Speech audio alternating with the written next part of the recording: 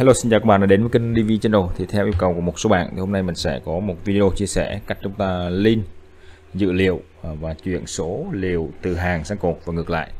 Thì trong à, ví dụ này chúng ta thấy ở đây là ba sản phẩm ừ, mã là theo cột. Bây giờ các bạn muốn link theo hàng thì các bạn sẽ làm như sau. Bước thứ nhất các bạn sẽ bôi chọn những cái vùng dữ liệu. Ở đây là bao thì các bạn sẽ chọn đúng bao để các bạn chuyển sang uh, link sang uh, dữ liệu hàng tương ứng với ba ô. Thì ở đây là hai thì các bạn nên chúng ta phải chèn thêm một ô nữa để có ba ô tương ứng. Đây là cái bước quan trọng. Các bạn chú ý ở đây là bao nhiêu bao nhiêu dữ liệu bao nhiêu ô dữ liệu. Thì khi chuyển sang chúng ta sẽ à, chọn trước những cái ô dữ liệu tương ứng.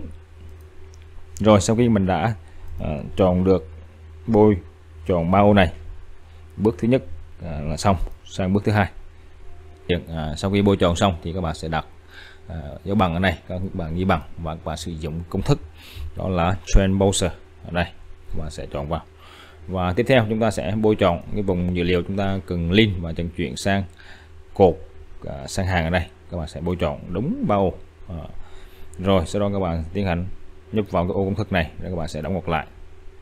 Sau đó các bạn sẽ dùng tổ phím đó là à, uh, Ctrl Shift Enter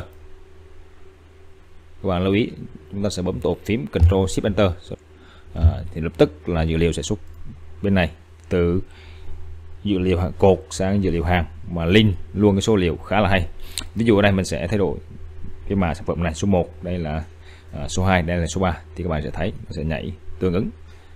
Link theo khá là hay.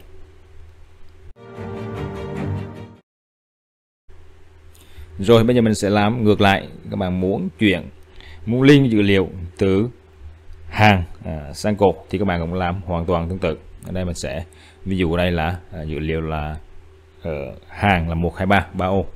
Bây giờ mình muốn link à, sang dạng cột như thế này thì các bạn thực hiện hoàn toàn tương tự. Các bạn sẽ vô chọn đúng 3 ô à, 3 ô để chứa những cái dữ liệu này. Sau đó các bạn sẽ các bạn sẽ ghi dấu bằng và các bạn sử dụng hàm à, uh, transposer rồi các bạn sẽ chọn cái vùng à, để liên tới. Rồi sau đó các bạn sẽ đóng ngược lại. Tiếp tục cái bước quan trọng là các bạn sẽ sử dụng tổ phím Ctrl uh, à, Shift Enter. Rồi như vậy là chúng ta đã liên dữ liệu xong. Chuyển từ hàng uh, sang cột khá là hay.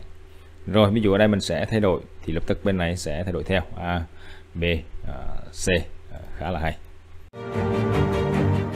Rồi bây giờ tiếp theo đó là cái mục cái phần chúng ta copy chuyển dữ liệu từ hàng sang cột và ngược lại thì đây là cách mà chúng ta copy thôi, nó không có link dữ liệu như cái phần trước.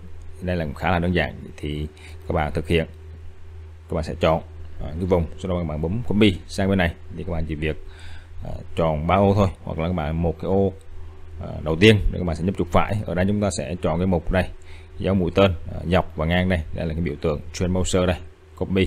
Các bạn chỉ việc bấm vào đây thôi, thì lập tức sẽ copy dữ liệu từ cột sang hàng. Khá là nhanh chóng còn trường hợp ngược lại các bạn muốn chuyển hàng à, copy hàng sang cột thì các bạn thực hiện tương tự. Thì các bạn lưu ý ở đây à, chỉ copy thôi nó không có link như lúc nãy. Rồi bây giờ dữ liệu đây mình muốn chuyển lại copy từ hàng sang cột lại thì các bạn sẽ thực hiện như sau. Các bạn bôi chọn và các bạn bấm copy ở đây các bạn sẽ quét bao ô à, và các bạn sẽ bấm gần mũi tên này trên bao sở đây. Vậy là xong các bạn sẽ copy khá là đơn giản. Hy vọng video mang đến các bạn những giá trị à, hữu ích nhất định và nếu có câu hỏi nào thì các bạn cứ để lại ở phần bình luận. Các bạn nhớ đăng ký, like, chia sẻ ủng hộ kênh cũng như để cho mọi người cùng biết. Xin à, trân trọng kính chào và hẹn gặp lại.